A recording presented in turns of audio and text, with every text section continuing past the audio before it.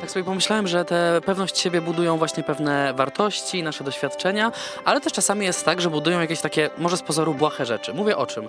Mówię właśnie o strojach, że lepiej się czujemy, jak jesteśmy pięknie ubrani. Mówię o makijażu, jak jesteśmy e, z podmalowanym okiem. Tak jest, ale czy ty lubisz na przykład siebie w ogóle bez makijażu, czy też są to jednak takie momenty zarezerwowane, nie wiem, tylko na przykład dla ciebie dla twojego partnera? Jak to jest? Ja słuchaj, ja bez makijażu e, chodzę prawie że codziennie i powiem Ci szczerze, coraz mniej.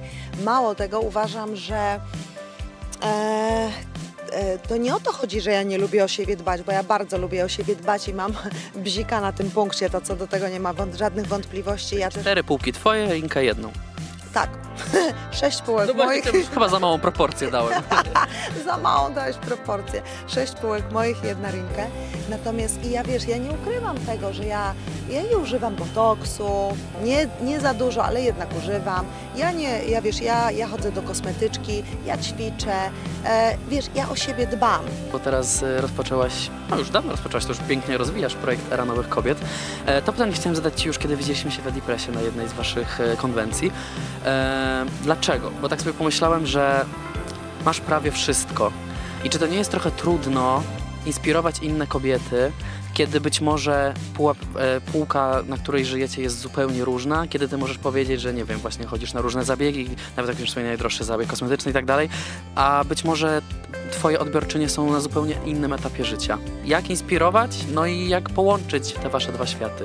Wiesz co, wbrew pozorom wcale nie okazało, wcale nie jest to trudne, dlatego że kobiety bardzo e, ufają i też wierzą mi w jedną rzecz, bo ja byłam w przeróżnych sytuacjach w życiu. Ja byłam, wiesz co, i e, żoną, e, matką trójki dzieci, pracującą studentką, wszystko naraz. Potem rozwódką, gdzie musiałam cały swój świat zbudować od nowa.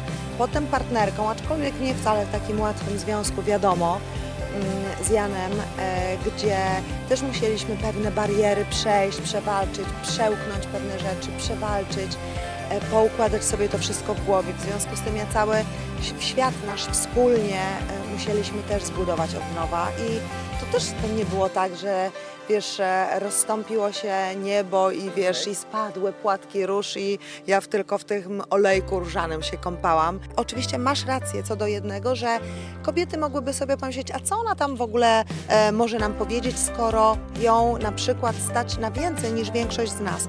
Ale z drugiej strony powiem Ci, że one mają tak w sobie też niesamowitą intuicję, bo one wiedzą doskonale, że ja przeżyłam tak przeróżne sytuacje, że mm, gdzieś wielowymiarowość i wielowarstwowość moich e, doświadczeń jest dla nich tak ciekawa też, że one wiedzą, że ja to wszystko to, co im mówię, mówię szczerze, bo mówię cały czas. Szczęścia można się nauczyć i można zrobić to szybciej, bo gdybym wiedziała wszystko to, co wiem dzisiaj, wiedziałabym kiedyś, żyłoby mi się łatwiej.